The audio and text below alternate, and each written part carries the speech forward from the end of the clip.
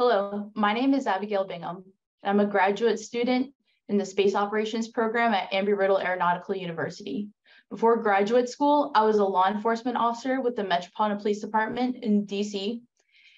And before graduate school, I was a law enforcement officer with the Metropolitan Police Department in Washington, DC, and later detailed to the Command Information Center, where I gained experience in 911 telecommunications.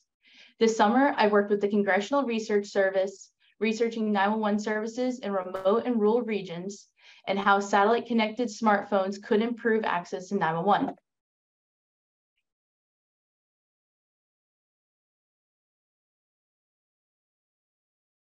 In our scenario, a man is on a mountain in rural Alaska and in need of medical help.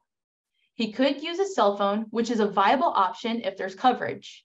He could find a shelter, and if it has a landline phone, he could use that to call 911. Or if it has Wi-Fi, he could possibly connect to a cellular or internet network. Although wireless connections can be spotty and may not provide location data to the 911 center, if there's even a 911 center in the area. He could use a satellite phone or satellite enabled smartphone if he has a clear path or line of sight to the satellite, but he may not reach 911 directly.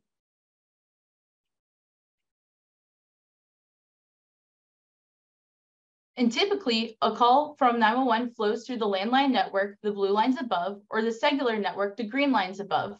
The service provider routes the call along with the caller's number and location to the local 911 center, sometimes called the public safety answering point, one that can dispatch help to the location of the caller.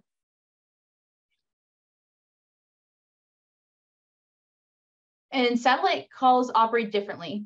Here in this illustration of how one company, Apple, is connecting their new satellite-enabled smartphones to 911 via text. First, the satellite-enabled smartphone will only connect to a satellite when its cellular networks are not available. Second, it must have line of sight to a satellite to connect. Third, once the satellite service is available and its SOS feature is activated, the user is prompted with the question of, what's the emergency? Once he completes the questionnaire and hits send, the smartphone connects directly to the satellite. The text is routed via satellite to the Apple ground station. Apple pulls the location and other information from the device and determines where the text needs to go.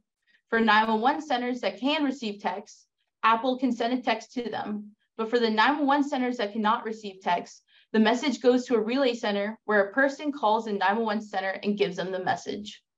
This is one example of how a cell phone, cell, cell phone to satellite to 911 connection. Other companies such as AST, SpaceMobile, and T-Mobile working with SpaceX are developing satellite to cellular services, but it is not clear yet how they will connect to 911. The benefits are that satellite services could offer coverage in rural areas where there's no service. As of spring 2022, there were nearly 5,500 active satellites in orbit, with an additional 58,000 expected to be launched by 2030. This could help provide coverage and access to 911 in rural and remote areas. Satellite communications could increase resiliency and redundancies in rural areas, providing a backup if landline or cellular networks are down. The technology has already aided in the rescue of three Brigham Young University students in Utah that were trapped in a canyon in hypothermic. And the challenges are that users may not be able to connect. Obstacles may hinder the connection. There is a lag time in satellite transmissions, and Apple reports a message could take 15 seconds or over a minute to send. Geolocation or finding people in remote areas may be a challenge, which could affect where a message is routed and how quickly others can respond. The quality of service at the relay centers may vary. And lastly, there may be an added cost of service.